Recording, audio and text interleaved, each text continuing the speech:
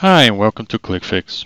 This video aims at making a high-level correlation of the key settings in QlikView Web Server and QlikSense Proxy and Virtual Proxy. The QlikView Web Server service is the web server responsible for hosting the QlikView documents when not hosting via an IIS server. In QlikSense, access to the apps via the hub is hosted by the Qlik Proxy service. Looking at the QlikView Management Console under the Web Servers General tab, the settings align with what is available in QlikSense Proxy settings. This includes logging and configuring a certificate to be used with inbound secured HTTPS client connections. Note that this setting along with all virtual proxy settings are used together when both the proxy and virtual proxy are involved with the client's request. For example, proxy settings are specific to the server running the proxy service, while virtual proxy is specific to the configure prefix which is used when accessing the hub or QMC.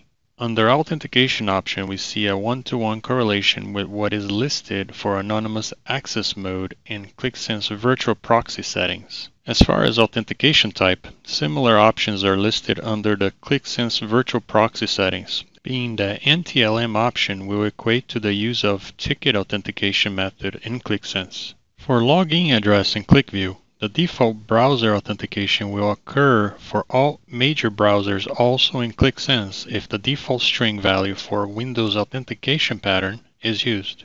So in order to use a web form for authentication prompt in QlikSense, the Windows authentication pattern needs to be changed to a string that is not found in the user agent header which identifies the type of browser the request came from. For example, the word form is not a word found in the user agent header using any major browser such as Chrome and IE.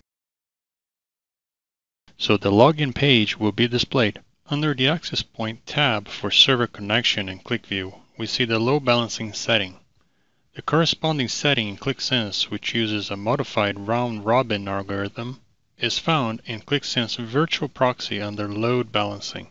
It is important to note that one of the key virtual proxy settings, Session Inactivity Timeout, is not represented in QlikView Web Server settings. It correlates to the setting Maximum Inactive Session Time found under the QlikView Server Performance tab. Thanks for watching.